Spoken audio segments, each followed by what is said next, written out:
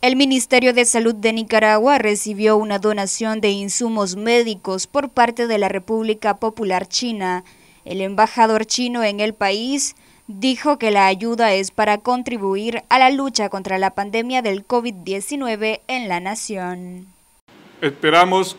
que estos modestos donativos, compuestos por 26 variedades de equipos y materiales médicos y sanitarios, incluyendo ventiladores, desfibriladores, laringoscopio, espectrómetros, tubos para oxígenos, guantes, mascarillas, ropas protectoras, entre otras, puedan contribuir a la lucha contra la COVID-19 del pueblo nicaragüense. Todos estos apoyos, incluyendo el donativo que estamos entregando hoy,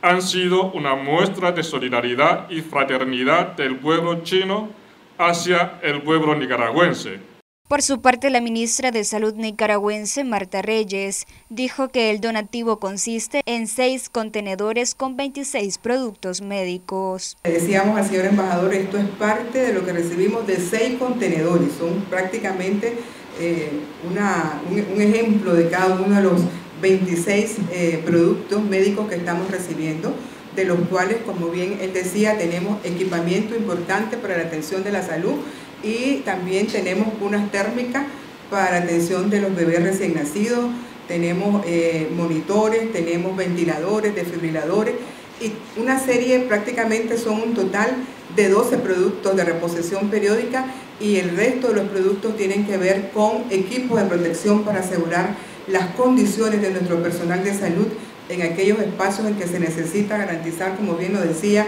el señor embajador, las condiciones que nuestro personal requiere de, de bata, de mascarilla, de guantes para asegurar su protección, pero lo más importante, garantizar la atención de nuestra población. Para Noticias 12, Luisa Centeno.